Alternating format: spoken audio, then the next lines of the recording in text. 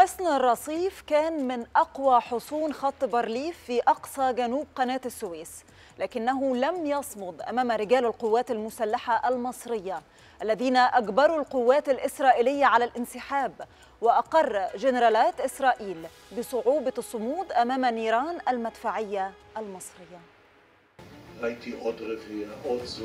כמות עצומה של מטוסים מצריים שחולפים נכנסים פנימה לתוך סיני. למזלנו לא אנחנו היינו המטרה שלהם. אנחנו שיושבים 200-250 מטר מהמצרים ורואים את ההתעצמות, מרגישים פה משהו. בעברית זה פשוט נקרא פחד. לא צריך להיות חכם גדול בכדי להבין אחר כך שאתה שומע שהמצרים כבר נמצאים על הגדרות של חלק מהמוצבים.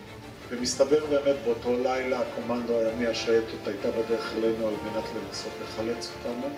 הם התגלו מכיוון האי גרין שנמצא לא רחוק, חיל הים המצרי גילה אותם, הם נסוגו לאחור, לא הצליחו להגיע אלינו, ואמרתי להם, אוקיי, אני אהיה מוכן להיכנע, ובאותה הרגשה מאוד מאוד קשה ומשפילה וכואבת, גם של קצין ישראלי שהולך לשבי, שלא רק במוצב המזח זו הייתה מלחמה של החיילים הפשוטים, שניסו לחפות על מחדלים ושגיאות של גנרלים.